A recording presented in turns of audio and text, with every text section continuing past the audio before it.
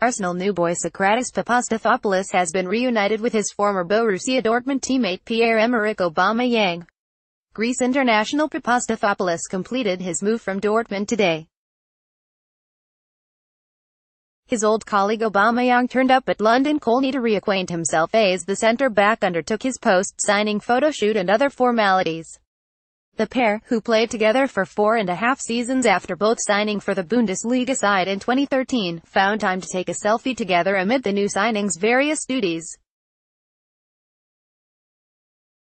Aubameyang posted the resulting photo on Twitter and observed, Pippa, Pippa pic.twitter.com slash OKKFV1N8, Aubameyang PE, at Aubameyang 7, July 2, 2018.